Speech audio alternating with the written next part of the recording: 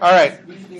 So, what you should have done for y equals sine x, which, by the way, according to how they've graphed it here, y equals sine theta is really what you're doing here. Or if you prefer, you can interchange this and make this x and make that x, and then I think it'll make more sense. But the idea is this your input is 0, pi over 6, pi over 4. All the angles is what you're plugging in to this new function.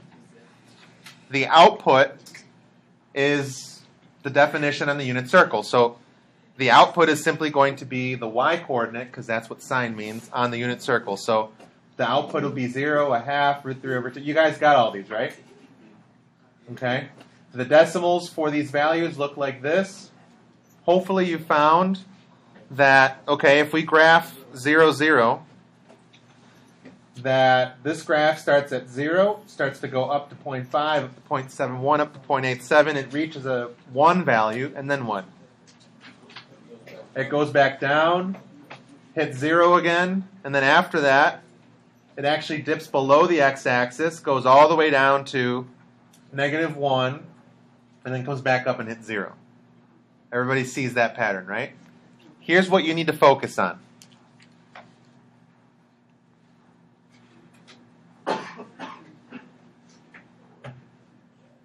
All these bigger values is what we're going to use to get a really nice graph. Okay? Because these are easy points to graph.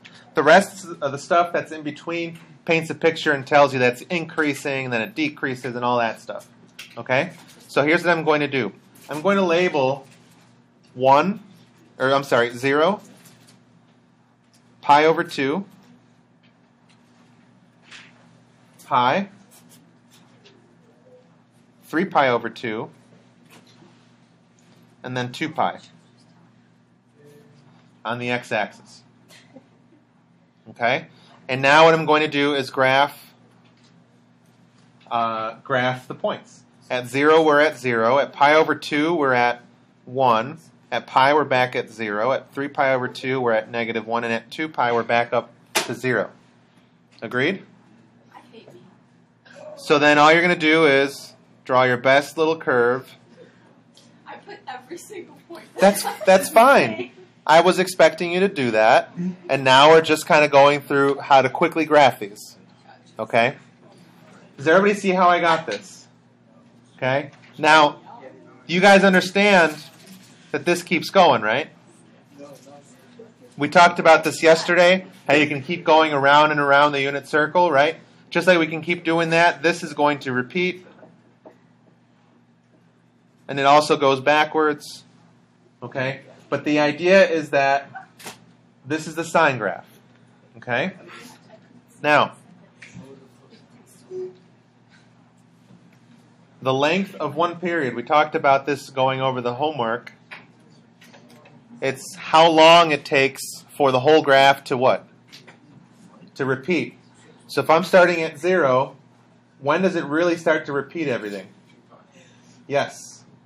So from zero to 2 pi, do you guys see how there's a copy of that following it? So from here, these are copies of each other, right? So from 0 to 2 pi, the length of that is 2 pi. Okay. the amplitude, how do we find it again?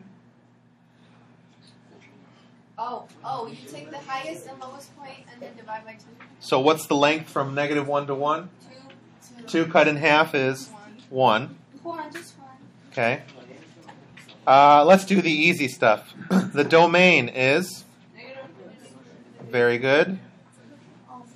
The range Um, negative 1 to 1. uh, brackets. Brackets. Yes. the highest point and lowest point, there are several of them. Okay? I know a lot of you aren't really listening right now because you have this. This is very important, this notation that we're going to talk about. Okay? The x intercepts. How many are there? Um, two. More than two. An infinite amount. One, two, three, four. It just keeps going, right?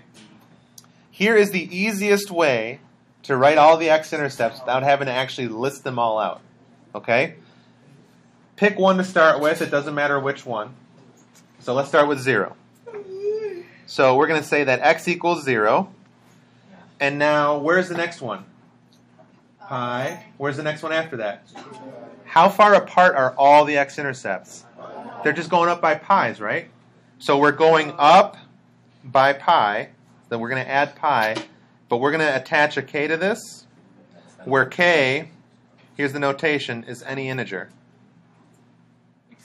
Whoops. Do you write all of that? You do. Or K? all of them one by one. Okay. I can't see what that is. This means k can be any integer. Is that an E? That Can you like write that bigger to the Sure. What is that? This, let me write it again. It's Okay. K is k. This is a little epsilon. Here's the how I do it.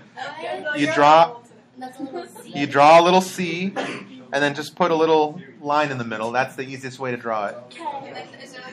And then you draw a z with a little double stem here. Okay. up? I'm trying to do this quickly. Okay, so just let me get through this. This symbol, epsilon, stands for or means belongs to the set or is a member of. You don't need to know that. Okay? This represents the entire set of integers. So 0, 1, 2, 3, 4, 5, and then all the negatives. Negative 1, negative 2, negative 3. Okay, so that's what this means.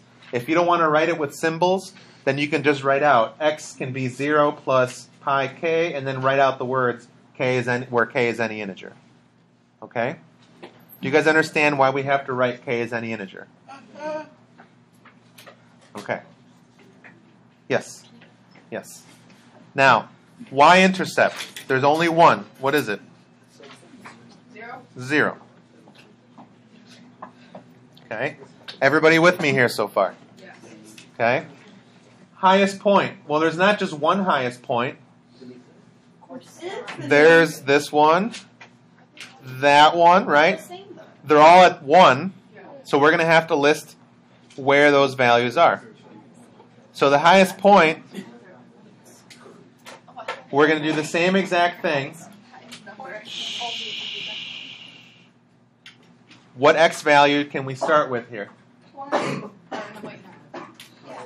Pi over 2. And then we're going to do the same kind of fancy notation so that we don't have to list an infinite amount of points. Where's the next highest point? Well, let's see. What are these going up by, by the way? Pi over 2, pi over 2, pi over 2. So this should be 5 pi over 2 if I'm counting by pi over 2, right? So what's the difference from here to here? What's it going up by? Very good. So we're going to add 2 pi k. And what is the y coordinate at all these x values? 1. And again, here k is any integer. Wait, how did you get plus two? Because from this point to this point is 2 pi units away. They're all 2 pi units apart. Yeah, oh. essentially, yes. Now, the lowest point will be similar. The y coordinate for the lowest point is always negative 1. And do you guys see that these are also 2 pi units apart? So where can we start? We'll start at x equals 3 pi over 2. And we can also add 2 pi k.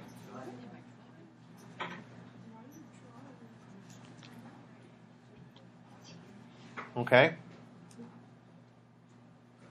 Everybody got all this information down? That's for sine. Okay, let's do cosine quickly.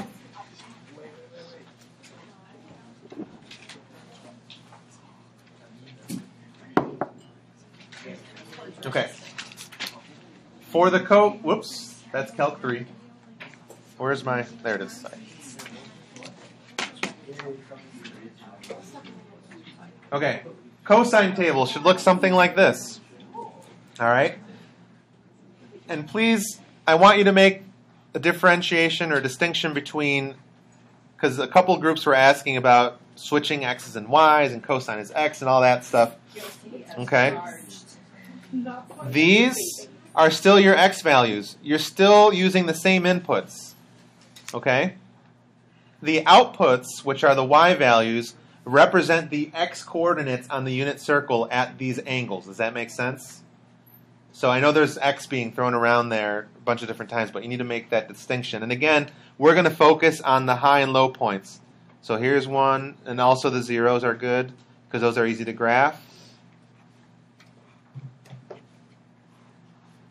And we're going to start with those and then label everything just the same.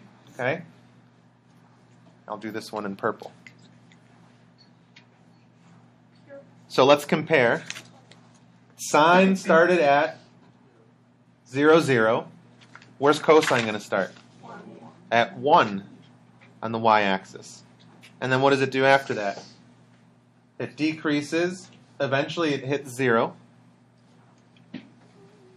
And then it keeps going down. Eventually gets to negative 1.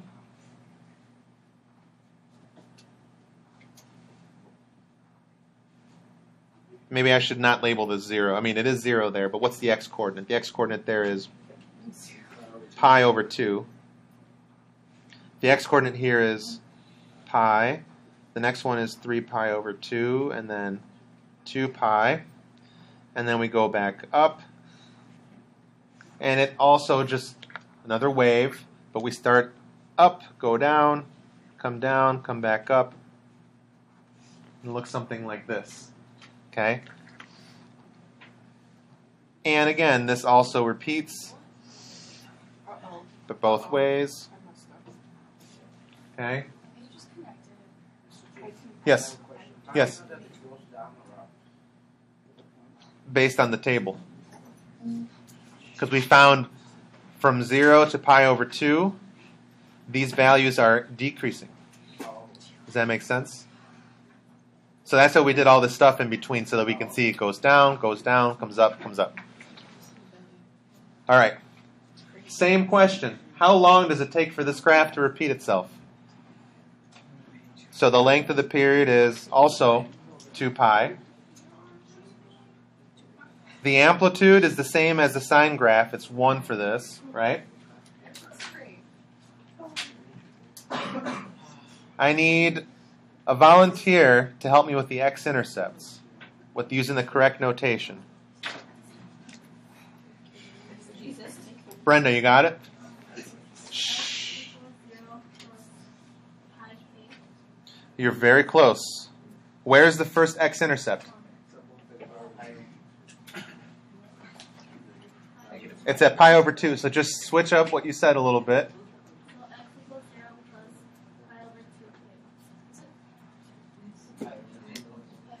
Go back.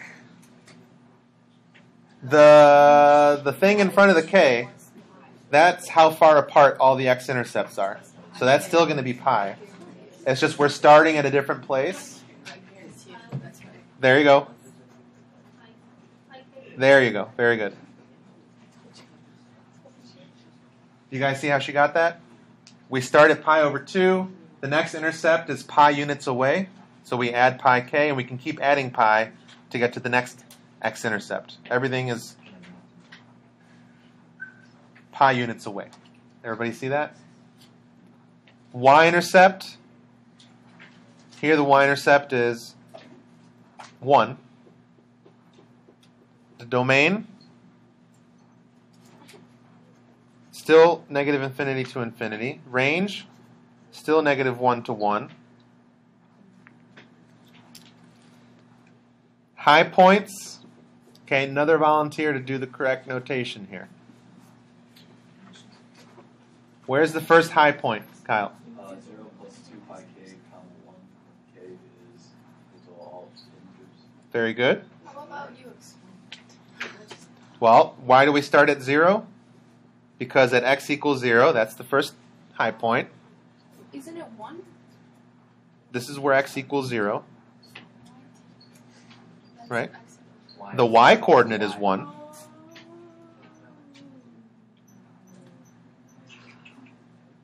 And now where's the next highest point? It's all the way here at x equals 2 pi, comma 1. In other words, they start repeating every 2 pi units. Does that make sense? The low points. Justin. Would it be pi plus two pi k? Yes. Comma. Very good. Okay, do you guys see how Justin got that? Kevin, you see how he got it? Yes. Okay. What's that? Yeah, I mean it's just how far apart the all those points are. Okay. Now,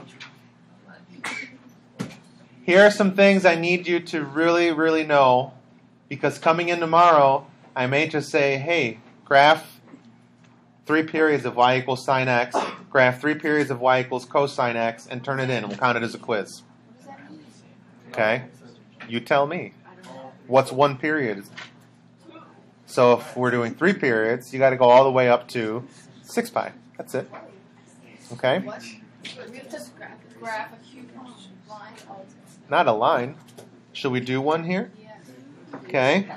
Let's do this first one together. For sine x. And I also want you to pay careful attention to how we're spacing everything out. If you go back to the sine graph, from 0 to 2 pi, we said was one period, right? How many sections are there? There's four sections between 0 and 2 pi, right? In other words, if I take 2 pi and I divide that by 4, that tells me how much each section is going up by. Does that make sense? Because I split 2 pi up into 4 pieces. What's 2 pi divided by 4? Pi over two. Pi over 2. So that's what I'm counting by. So each tick mark increases by pi over 2. Do you guys see that? 1 pi over 2, 2 pi over 2, 3 pi over 2, 4 pi over 2 is the same as 2 pi, and so on and so forth. Okay? Yes? Always be four sections? Always. Always, always, always. Or Every graph we're going to do this unit will be split up into four sections. So if you, four quadrants? uh, it's, it's not so much because of the quadrants. It's more because these are, that's just how it t- turns out that the important points are spaced out. Okay. So when I'm doing when I'm doing three periods, Does that mean that each length of one period is going to be 2 pi? yes. So we have one, two, three, four. That should cover one period, right? Five, six, seven, eight. That should cover two periods. Nine, ten, eleven, twelve. Should cover three periods. And then now we just count. Pi over 2. 2 pi over 2 is pi. 3 pi over 2. 2 pi. What comes next? Five pi over 5 pi over 2. What's 6 pi over 2? 3 pi. 7 pi over 2. 8 pi over 2 is 4 pi. 9 pi over 2. 10 pi over 2 is just Are you just 5 pi. 11 pi over 2. Add another pi over 2. 12 pi over 2 is 6 pi. It's just it, it simplifies. They're all just going up by pi over 2.